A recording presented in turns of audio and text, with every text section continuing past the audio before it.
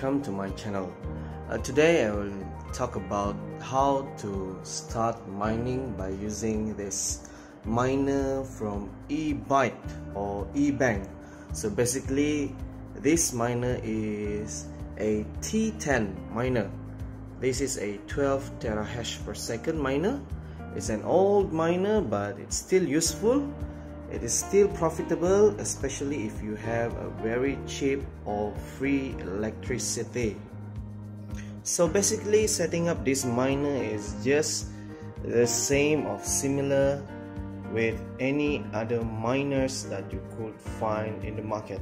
This ASIC miner is a miner that is using around 1450 watt depending on your load or your system it's around 1450 to 1550 so here there are three ASIC miner from Ebang, three T10 miner and I would like to show you how to set them up until they are running in full capacity mining your Bitcoin.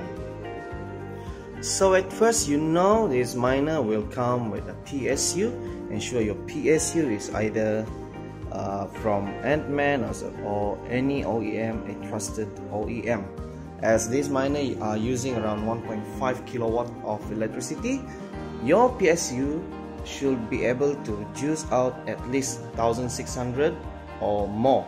It's better to have higher powered PSU in order for you to have some headroom for your PSU to be able your PSU to be able to breathe. So setting up the, the miner the ASIC miner is not hard. You just have to connect your 6 pin power from PSU usually PSU like this.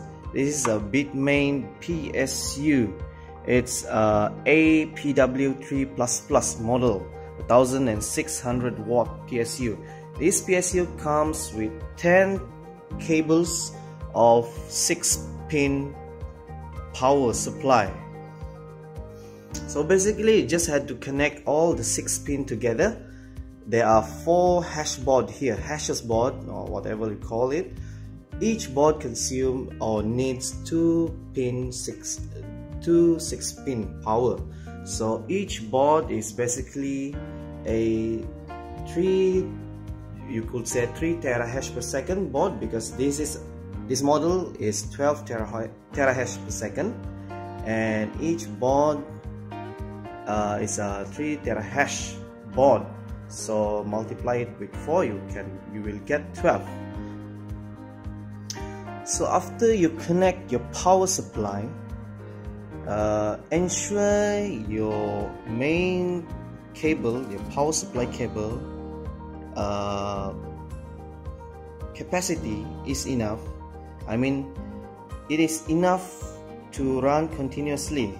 The power cable is rigid enough to run continuously with 1.5 kilowatt power. So basically most miner would prefer 1.5 mm uh, square of 3 core powered cable. As 1.5 mm square could basically theoretically handle up to 10 amps or more. So ensure your power cables is in good quality. Do not chip up on your power cables. The same with your PSU after that just ensure you have very good LAN cables and a LAN powered internet. You had to get a router in order to set up this miner. I have a simple router over here. This router is from TP-Link this router have its own SIM card slot so you don't have to deal with like another uh, provider, a wired provider if your house do not have one. So basically your router must be able to be connected at least uh, or must be connected with your uh, PC or your laptop. This is to ensure you could do the setting inside the miner before you start mining. I will show to you how to start mining or how to set up the miner software afterwards. So let's see how it turns out when we turn on the power supply. Let's turn it out turn it on one by one. You can't hear my voice afterwards. Guarantee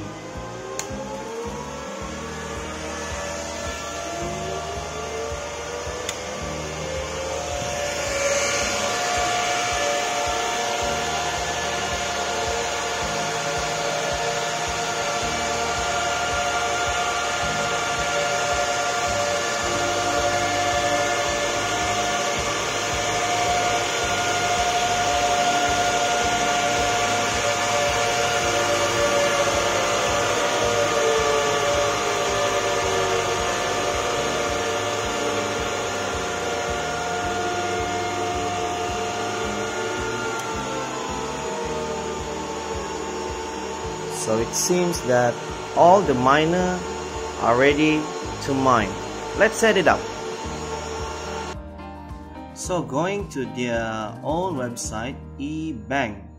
The website is miner.ebang.com.cn. Here you can you can find the support area where the support is all about either instruction, tools, firmware, user manual or any another support so at this area you should go to the management tool. So the manage tool here just grab the recent one. There are two around here. Another one the, the other one is especially for E9 plus.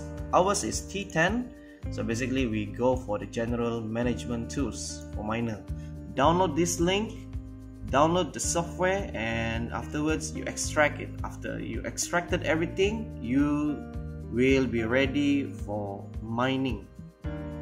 So I've downloaded the software. So in here you can you could see there are some uh, names which started in Chinese. So just open it up and I will tell you uh, in general what does it needs before we could even start mining. So basically here they provide two links. These links are very important. First one is the from win. This one just copy and paste it to your web browser. Afterwards there is a an instruction on how to install their software. After you install WinPCAP, next one you will install the .NET Framework 4.0. Ensure both of these were installed inside your PC or laptop or desktop before you start your mining. Afterwards, you can start using this exe application where you can start setting up your miner before you mine your bitcoin. So here you can see there are three things to select. First select the LAN use. In this LAN use you must have your LAN cable your internet cable from your router connected to your PC from me for me I've already set it up so I don't have the land. I already set it up everything but to give you an I you an idea here there should be the list of your miner so after you have the list of miner around here you go you select all of your miner either one two or three or more and then go to DHCP management enable DHCP and yes you have to configure static IP this is for you to know what is the IP of your miners or your router. You must have them before you go for the next process well afterwards after you have your IP and also DHCP enabled open it back. Open the software back. The second soft the second time you open it go for the cross gateway used so here is the second one where you don't need exactly need your LAN cables in order to perform this task so this task is basically uh, for you to uh, set it up set up your miner put your bitcoin addresses select your pool or anything else that's related for mining. So go for network segment import afterwards you will be prompted with an IP so whatever IP you could get from your previous uh, step you put it here. In my case it's 80 sorry 80 and start with 1 so IPN usually because I already know my number of miner is not even uh, close to 10 pieces. So there's only 3 there. And it start with number 2 3 and 4 so basically just put 5 here. Just need them to list 5 maximum. Select ok. All your miner IP will be listed here. So my miner started from 2 3 and 4 I already know it. Just select refresh all. It will automatically refresh itself. Well I forgot to connect the Wi-Fi my router from my router so I just connected it back. Let's see if yeah, my PC could get my miner online or not. Okay so this is my miner number 2 3 and 4 so everything works fine. From here uh, you could say you are halfway from mining. Next you get the addresses uh, from your mining pool any address that's related to your mining you put it in mine configuration. So just put everything here your miner name password if needed unselect this and select ok. After everything set up in this software copy this your IP addresses paste it to your web browser there you could get to know your the status of your miner online. Just like what I've done here. So from here this is the interface for the miner so you just put admin and another one is admin. Language goes for English login so here's the status for my miner number two.